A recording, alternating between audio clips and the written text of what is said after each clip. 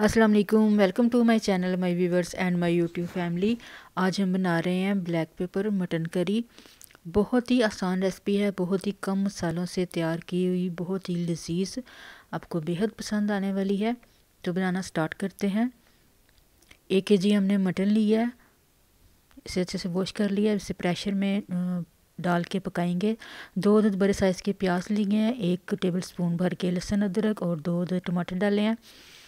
थोड़ा सा इसमें नमक डालेंगे, बाकी नमक टेस्ट के मुताबिक हम बाद में और डालेंगे एक गिलास पानी डालकर इसको हम बंद कर देंगे प्रेशर को, तकरीबन छः से सात मिनट तक इसको वेट देंगे। मटन जो है वो गल चुका है, इसे मैं कढ़ाई में ट्रांसफ़र करूँगी। थोड़ा सा इसमें पानी है, इसको खुश्क करेंगे पानी को। अब इसके बाद इसमें घी डालेंगे और मटन की हम बुनाई करेंगे।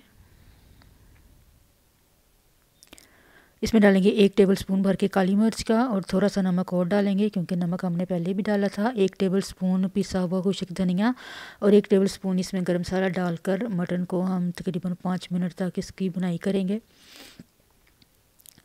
ताकि सारा मसाला जो है वो घी छोड़ दे।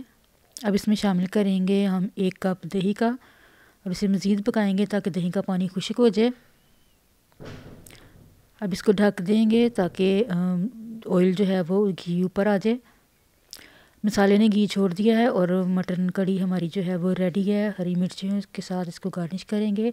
बेहद ही लजीज रेसिपी है। बहुत ही आसान कम मसालों के साथ तैयार की हुई। फ्रेंड्स मेरी रेसिपी पसंद है तो लाइक और शेयर ज़रूर करें और मेरे चैनल पर नए हैं तो प्लीज़ मेरे चैनल को सब्सक्राइब ज़रूर कीजिएगा। अल्लाह हाफिज़।